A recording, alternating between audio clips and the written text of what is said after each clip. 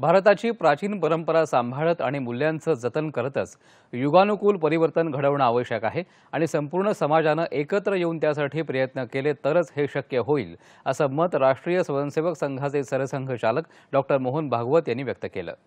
संघाचा पारंपरिक विजयादशमी उत्सव आज नागपूर इथं रेशीमबागेमध्ये संघ मुख्यालय परिसरात साजरा झाला त्यावेळेस ते बोलत होते.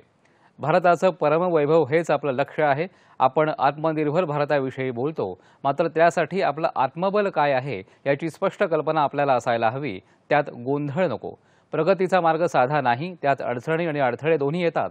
मात्र त्यावर मात करण्यासाठी सहचित्तता म्हणजे सर्वांनी एकाच दिशेनं विचार करणं आवश्यक आहे. परंपरा टिकवून नित्य नूतन आणि संशोधनाच्या मार्गावर चालावं लागेल आणि समाजाला सर्वंकष दृष्टिकोन घेऊन एकत्र येण्याशिवाय पर्याय नाही असंही त्यांनी सांगितलं. आर्थिक आणि राजकीय स्वातंत्र्य मिळालं असलं तरी सुद्धा विषमता दूर होत नाही तोपर्यंत सामाजिक स्वातंत्र्य येणार नाही. विषमता कायद्यानं दूर होणार नाही तर त्यासाठी प्रत्येकानं मनातून विषमता बाहेर काढली पाहिजे. समाजाला त्यासाठी पुढे यावं लागेल असंही ते म्हणाले. नया युगानुकूल देशानुकूल प्रतिमानक कौन सा होगा? ऐसा विचार करके चलना पड़ता है। तो नित्य नूतन होना पड़ता है लेकिन चिर पुरातन भी रहना पड़ता है। सनातन और नित्य नूतन, ये साथ चलते हैं। बिना सनातन के नित्य नूतनता भटका देती है, कटी पतंग हो जाती है।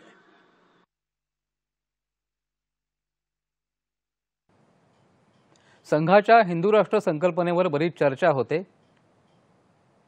ही संकल्पना अनेकांना मान्य आहे मात्र हिंदू शब्दावर त्यांचा आक्षेप असतो. हिंदूऐवजी इतर कुठलाही शब्द वापरला तरी हरकत नाही मात्र संकल्पना एकच आहे याबद्दल स्पष्टता असावी असंही त्यांनी सांगितलं. धार्मिक आधारावर लोकसंख्येचा अवसमतोल यापुढे दुर्लक्ष करून चालणार नाही यामुळे देशाच्या भौगोलिक सीमांमध्येही बदल होण्याची शक्यता आहे. त्यासाठी सर्व धर्मांसाठी एक समान धोरण असणं आवश्यक आहे असंही भागवत म्हणाले. देशात अल्पसंख्याक समाजाला हिंदूंपासून धोका आहे असा अपप्रचार केला जातो. मात्र हे पूर्णपणे असत्य आहे हा हिंदूंचा स्वभाव नाही. बंधुभाव सौहार्द आणि सहजीनावर संघाचा ठाम विश्वास आहे असंही ते म्हणाले. समाजाच्या उभारणीत स्त्री शक्तीची उपेक्षा करून चालणार नाही. पुरुषांपेक्षाही जास्त सक्षम असलेल्या या स्त्री शक्तीला संधी स्वातंत्र्य आणि वाव देऊन समाजाच्या सर्व क्षेत्रामध्ये सक्रिय करायला हवं असं भागवत म्हणाले. याशिवाय नवीन शिक्षण धोरण आरोग्य कौशल्य विकास आणि लोकसंख्येत तरुणाईचा सकारात्मक वापर या विषयावरही त्यांनी भाष्य केलं. या कार्यक्रमाला ज्येष्ठ गिर्यारोहक पद्मश्री संतोष यादव प्रमुख पाहुण्या म्हणून उपस्थित होत्या. भारताला प्राचीन सनातन संस्कृतीचं वरदान लाभलं आहे. या संस्कृतीचा प्रचार जगभर करण्यासाठी सर्वांनी काम करावं असं आवाहन त्यांनी केलं.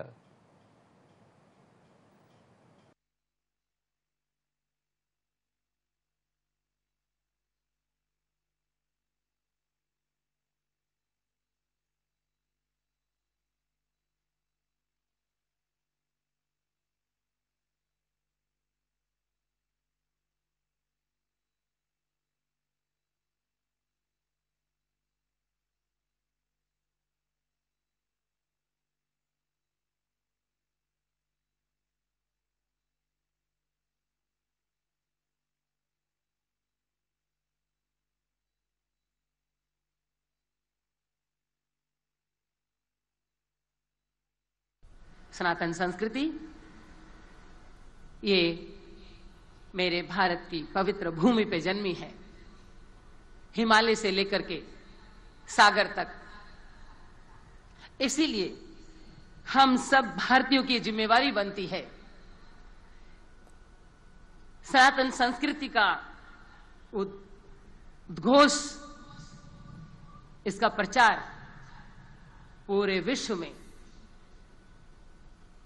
पूरी जागृत अवस्था के साथ में खुद सनातन संस्कृति तो अपनाए और उसके बाद हम पूरे विश्व में विश्व कल्याण के लिए, मानव कल्याण के लिए इसके प्रचार प्रसार में जुटना चाहिए।